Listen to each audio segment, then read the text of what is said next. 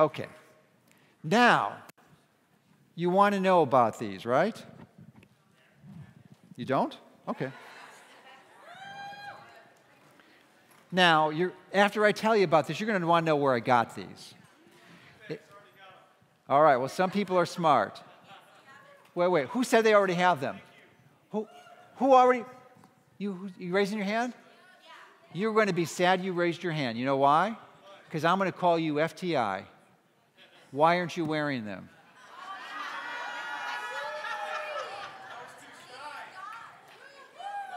I could care less what the hell people think of me. You know? I don't care. It's, you know, and you, you got to know, none of us are superhuman. We're all susceptible to biological damage. Nature doesn't care who you know, how much money, it doesn't matter. It, is, it does not pick on anyone. So these, you can get these, right, these are UVEX. I've talked about on my site because I'm hot. Now, they're, but they're hard to find. They're really hard to find. They're these really exotic stores. It's called Amazon. and they're very expensive, $8.50.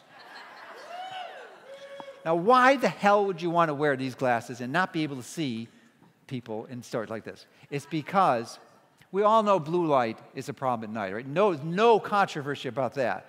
You got Night Shift on your iOS, you got blue light filters on the current version of Android. They, for night, right?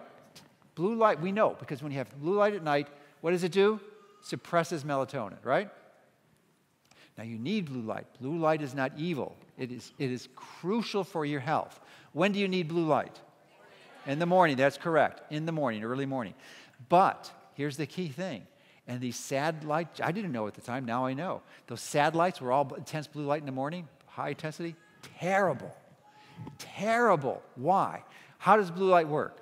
Blue light goes through your eye through, and it hits the retinal pigmented epithelium. It generates something called a reactive oxygen species, which sends a free radical and tells your body to set it up to make melatonin. But the, you need to do it in a way where you have it balanced with other wavelengths, specifically red, uh, near infrared, and, and, and mid infrared species, uh, uh, wavelengths. If you don't, because the reactive oxygen species is dangerous, right? Uncontrolled, it can cause damage. And in fact, it's this uncontrolled blue light exposure that is going to cause an epidemic, an epidemic of blindness in the United States in the next 10 or 20 years, unless people get this. Epidemic of blindness and cataracts. The reason why sun, blue light from the sun is fine because it's balanced with red and infrared. And what does that do? That causes regeneration and repair in your mitochondria. So you don't get the damage from the reactive oxygen species. But these are not just at night. These, the why I'm wearing them now, as soon as I go outside, I take them off. These are reverse sunglasses.